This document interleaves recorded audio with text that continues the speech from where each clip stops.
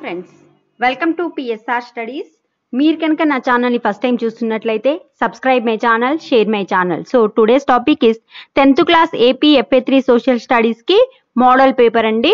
Only model paper ఇది question paper కాదు. Time వచ్చేసి ఫార్టీ ఫైవ్ మినిట్స్ ట్వంటీ మార్క్స్కి ఎగ్జామ్ మీరు choose the correct answers and filling the blanks నేర్చుకునేటప్పుడు question చూసి ఆన్సర్ నేర్చుకోండి.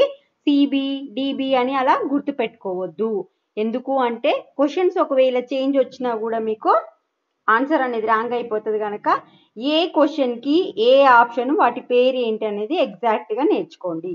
So first choose a correct answers first question our constitution is option A unitary option B federal option C both A and B option D none Second, the state which has low density of population. Option A, Madhya Pradesh. Option B, Andhra Pradesh. Option C, Arunachal Pradesh. Option D, Goa.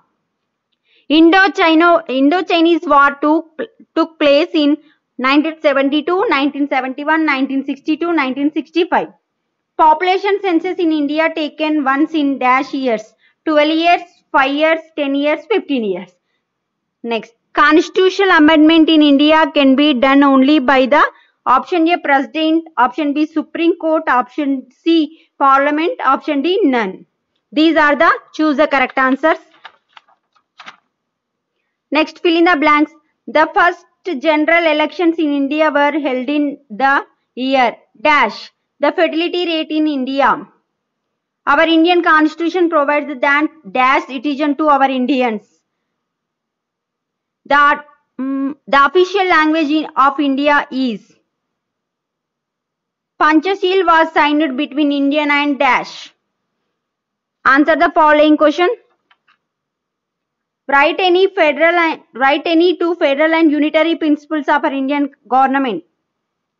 Explain state reor- reorganization. What are the institutional changes that came up after emergency?